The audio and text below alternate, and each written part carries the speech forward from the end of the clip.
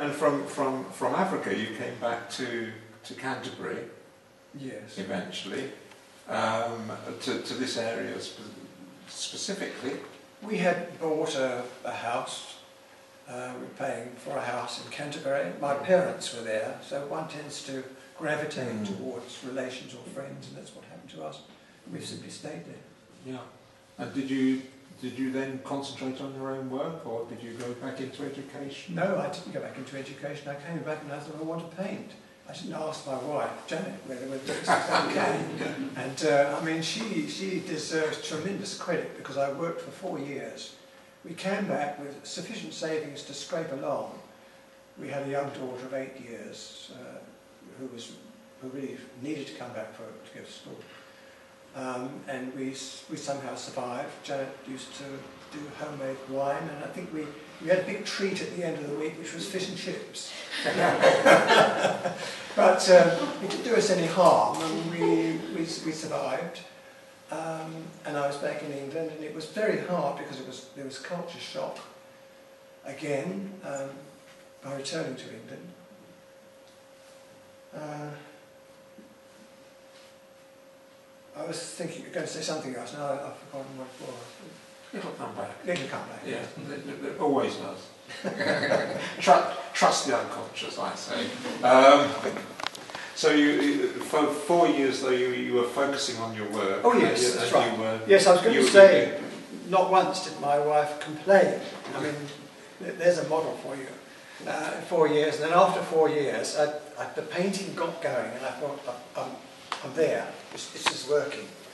Uh, I can, I'm on a a moving path. I found a, I found a thread. And uh, I remember we were on either side of the bed, making the bed one morning, and I said, I think, I think it's about time I got a job as a taxi driver. And she said, what about this job at Christ Church College?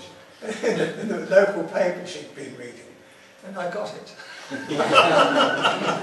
it was only a part-time job, uh, and they, they were never, I must say, they were never very generous. They never offered me a full-time job until, oh, right at the end of the eighth year, 13 years I was there. Uh, part-time, half-time. Um, but anyhow, it gave me also time to paint. But, uh, but it was lovely, I must say, lovely going back into, into that. I used to go in seven days a week. I couldn't keep away from the place. We'd go going to see if students were making something. Um, yes. You But- enjoy, you enjoy, you enjoy being with students. Oh yes, I love Yes. it. Yes, I Yeah. love it. Especially those particular students. They want, they're interested. I feel like I can do something for them, Mhm. things for them. Yes, they're, they're, they're lovely at that, at that age. So you, when, you, when you were on the train this morning, it was almost like a carriage full of little students Oh, for you. yeah, well, they are irresistible. I mean, there- there's such a um, f- fraught anxiety these days about anybody who's over the age of seven talking to a child. Uh, but I go into the National Gallery, for instance, and you see these little lines of gorgeous little sort of uh, dwarfs coming through holding hands. And uh, then they sit round and they, they listen to somebody who's talking about a painting. And I, I just stand there and make drawings of them. And they're sort of like this, or they're flat on the floor making drawings. And, uh, absolutely irresistible. Uh, I tr- just try not to be too friendly. Very difficult. I think the older I get, um, the younger the children are that I like. Uh, yeah. So uh, um, you, you were at Christ Church, uh, uh, University College Canterbury, uh, and then you retired, believe it or not, many years ago now. 96, 1996, yes it is. And, and since then you've been as productive, if not more productive, in the work that you've been doing. It's gone on, yes. I think probably at about the same sort of rate of production. And how about the enjoyment? Do you find it your what, what, what, what does it feel like for you making work? Why do you make work? You've done it. There's a lot of things here in, in the exhibition. Um, uh, if I had done all this during one lifetime, I would I would have been well pleased. Oh, really? yeah. Uh, at this quality, yes. So why why do you keep going? What what is it that leads you to do the next thing and the next thing? What tomorrow you'll pull out your sketchbook yet again? Why? That's right. it's my life. It's what I do, and if I don't do it, then I'm lost, quite honestly. And I think uh, most artists would probably say the same thing. It's what I do, and I know Janet and I have breakfast in the morning, and I do the washing up. She does, that doesn't mean to say I do all the housework. I, do. I do the washing up and occasionally do a bit of cooking.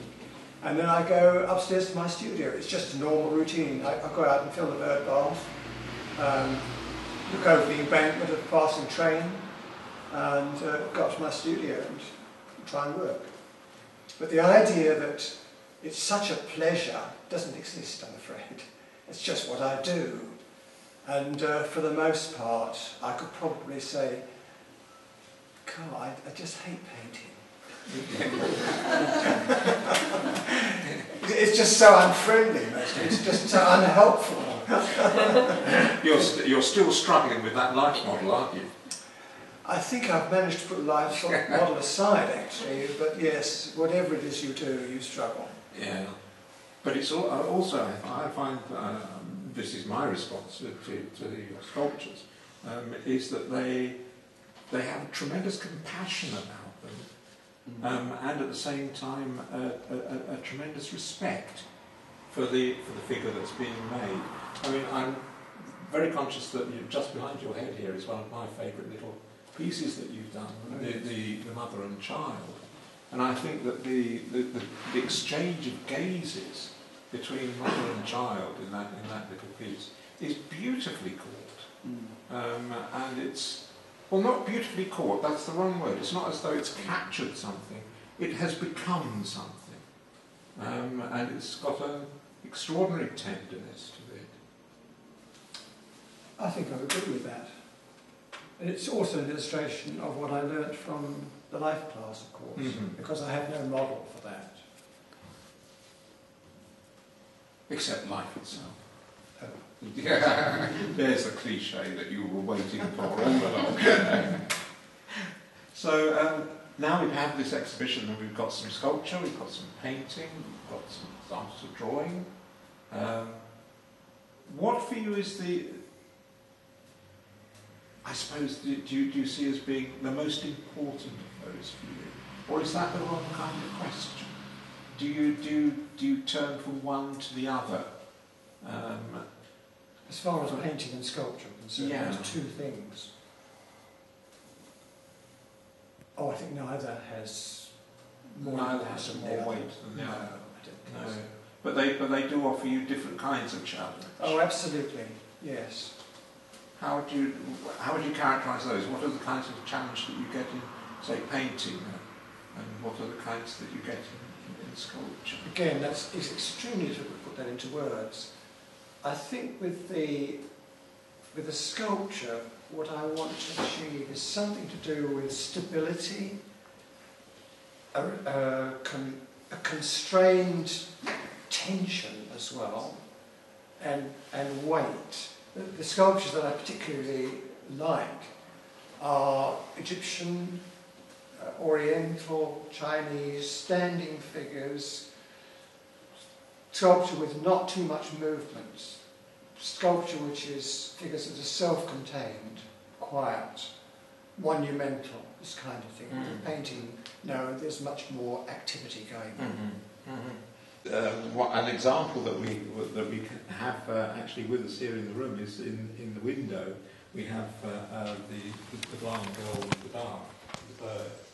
Is it a dove or a... It is a pigeon come dove. It's a, kind of bird, yes.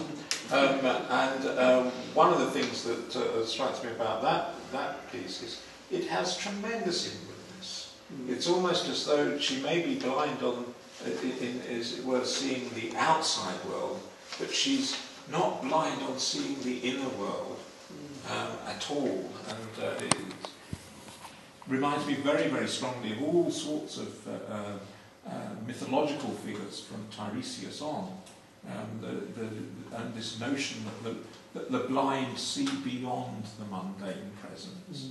Mm. Um, was that part of your thinking when you were making the sculpture? I don't think so, although it, although it may have been, mm. without my mm. putting it into words.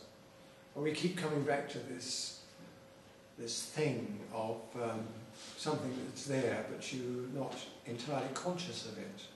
And the, the unconscious in that sense is something which is very important to, in the artistic process, I think. And I don't think anybody would tell you this. You sometimes step back and you've made something, you're not quite sure how, how that happened.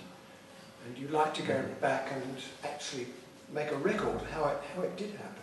But somehow you, you were gone and you made it, and uh, then you come back again and it's there.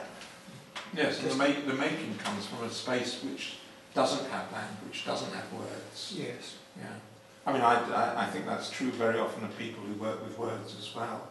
Um, and it's very interesting that, that you're very good with words. I mean, you, you, you are a, a considerable writer in your own right. Um, and, and yet, the, the, the process of making sculpture, the process of painting, um, these, are, these are activities which escapes the net of words.